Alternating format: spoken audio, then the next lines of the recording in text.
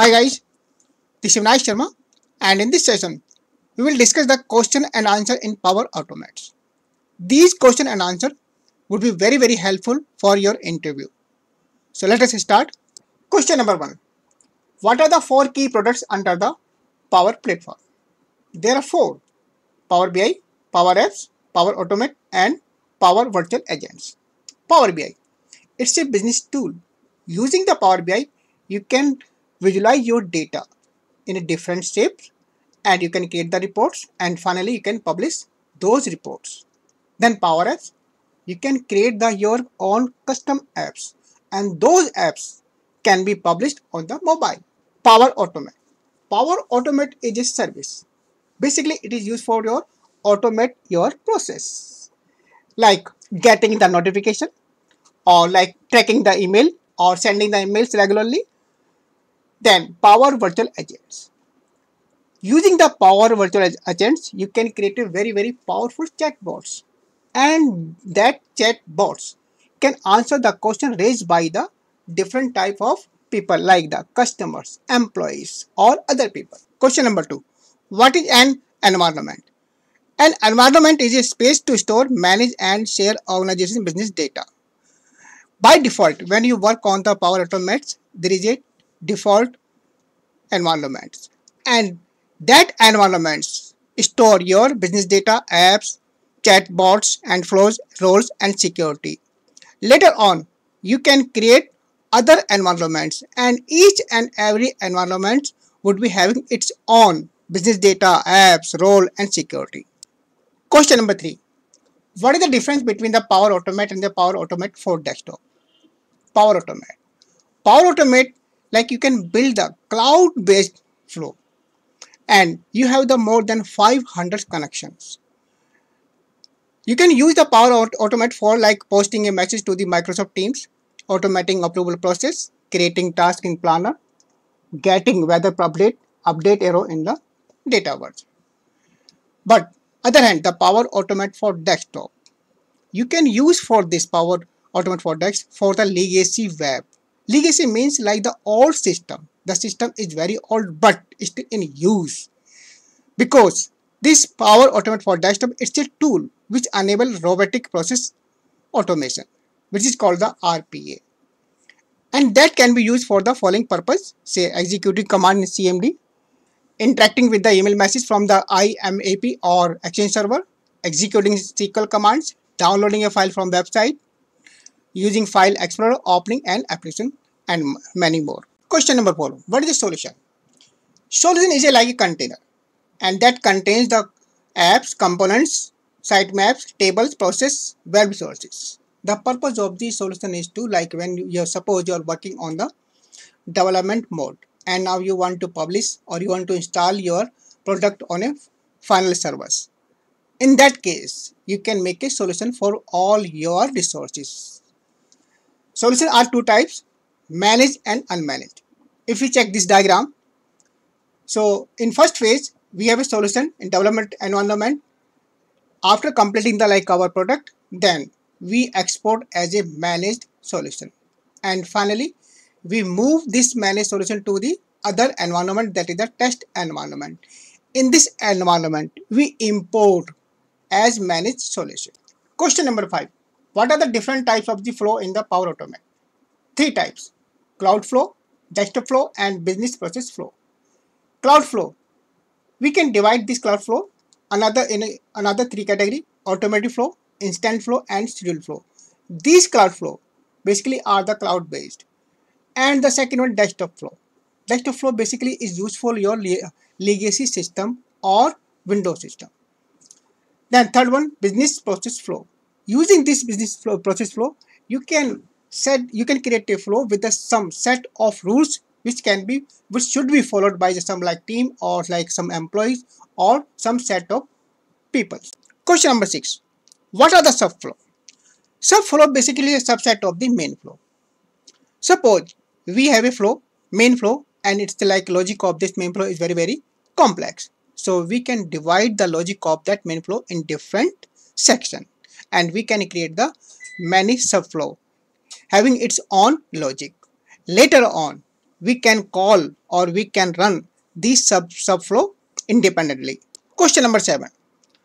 What are some of the common supported variable data types in Power Automate for desktop? So following are text value, numeric value, boolean value, data table, data row, custom object, mail message, file, folder and many more. Question number 8. What is the difference between the input output variables and the flow variables? Input and output variables. Basically these variables are used like when you pass some value from one flow to another flow. So you can use the input or output variables. But flow variables. These flow variables are used within the flow and to store some value. Question number 9. What are the actions? An action is a task that is started when a trigger is invoked. Trigger means like uh, you receive a mail and uh, you update the data and like some information is coming to your inbox. So these are the triggers and then you can take some action. And these action depends on the type of the event. Say variables, conditions, flow control, run flow, workstation, scripting, file, HTTP. So for all these categories, there are different actions. Question number 10. What are UI elements? UI elements refer to all graphical user interface piece that construct an application like window, checkbox, text fields or drop-down list. If we check on our automate and on the right side we have this UI elements. If we click that one then we have window add UI element then add screen. So basically, if I move the mouse, then you can see a red color rectangle. So I can capture anything on this window system. Then create action for that captured element. So this is called the UI element. Question number 11. Name the browser supported by the Power Automate for Desktop. To automate web related tasks, Power Automate for Desktop provides the automation browser that is pre-configured and works out of the box. Besides that, Microsoft is Internet Explorer, Google Chrome and Mozilla Firefox are also supported by the Power Automate for desktop. Question number 12. How do you debug a desktop flow? For debugging the desktop flow, you can take the three steps. Review the errors or you can add the breakpoint or running a desktop flow action by action. If we check the, our desktop flow and suppose if I put a here, so red circle, this is the debug mark. So when you run this desktop flow, so this execution will stop here. Then you can check step by step or line by line. Or you can run the specific action. Suppose there are multiple action and right click. Then we have the run from here. So you can select a specific action from where you want to run your program to debug the errors. Question number 13. What are some of the best practice when creating a desktop flow? So first one, modularity. It means if there is like a complex or big flow, then you can divide that flow in subflow. Second one, maintainability. Good structure and development standard. It means follow the some standard for your flow readability.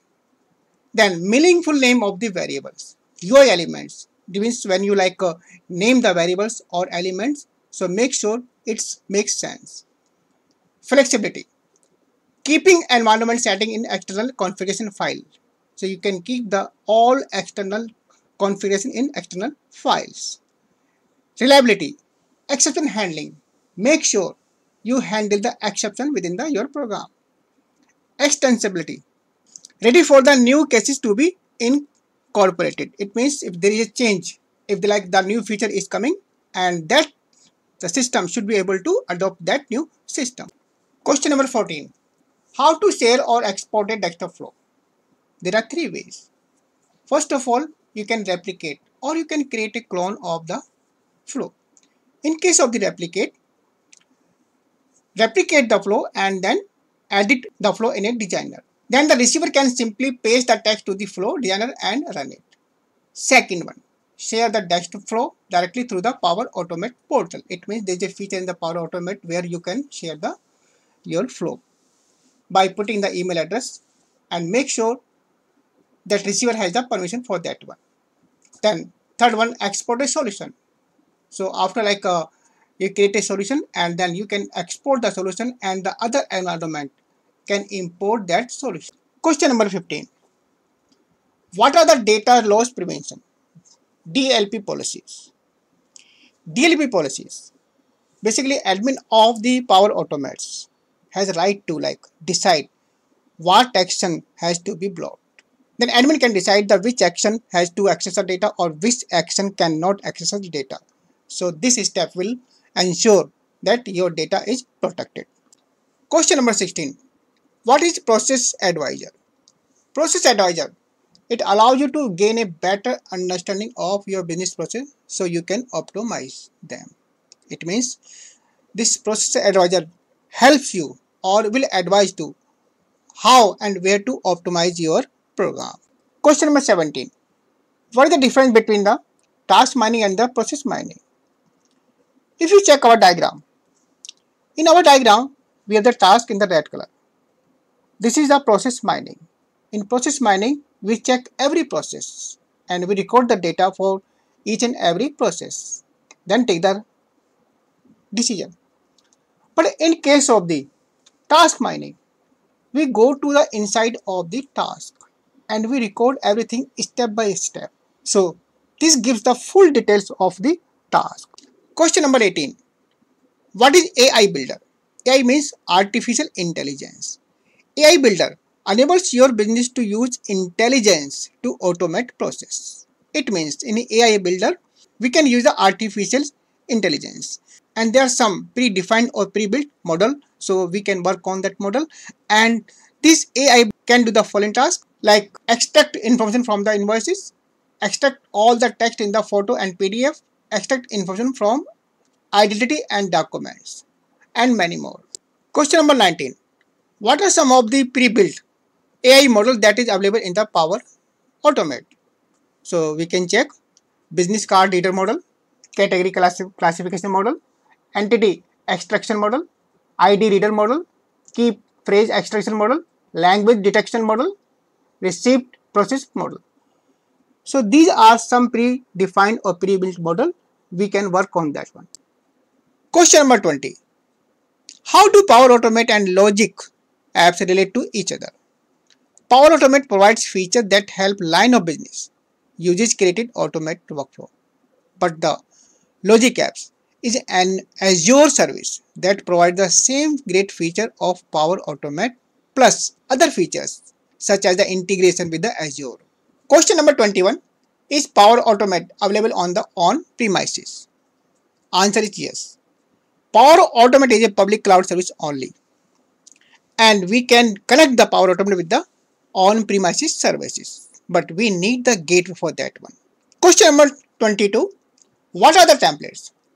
A Power Automate template is a pre-created or pre-built or pre-defined flow that will allow you to automate a process in a minute.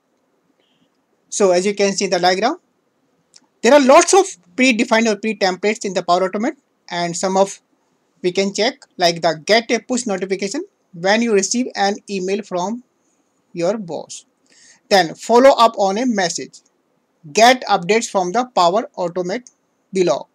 Then post a welcome message when a user join a team. So these are some predefined or pre-built template, you can use this template and can create a flow flow within a minute. Question number 23. How do I connect to a REST API in my flow?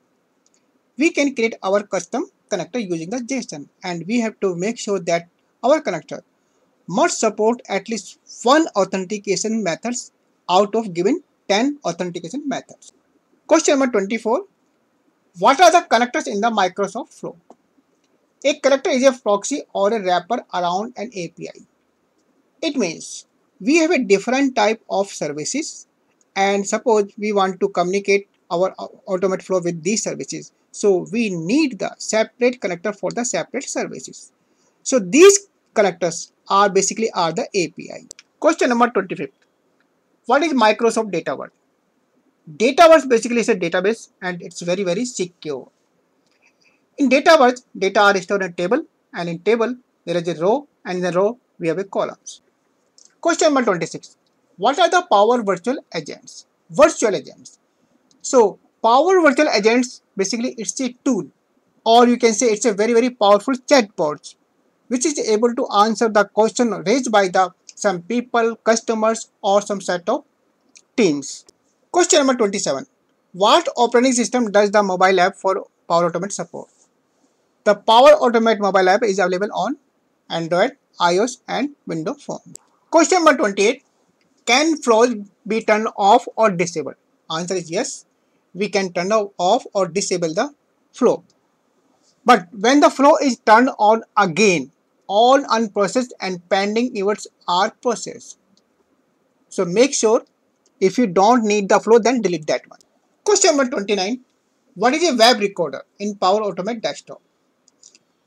The web recorder, it keeps a track of mouse and the keyboard activity in relation to UI element. It means if you make the recorder on, then you can record the like your activity regarding the UI elements like which elements has been clicked and during the each recording session the recorder can generate both UI and browser automation actions. Question number 30. How do you access the database in the Power Automate desktop? In Power Automate desktop, we have a database action through which we can automate database tasks. So guys, these were the 30 question and answer in the Power Automate. I hope these question and answer would be very very helpful in your interview. Thanks for watching the video.